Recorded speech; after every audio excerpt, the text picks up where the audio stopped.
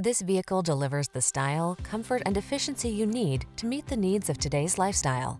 Confidence comes standard when you're behind the wheel, prepared for the journey ahead. These are just some of the great options this vehicle comes with.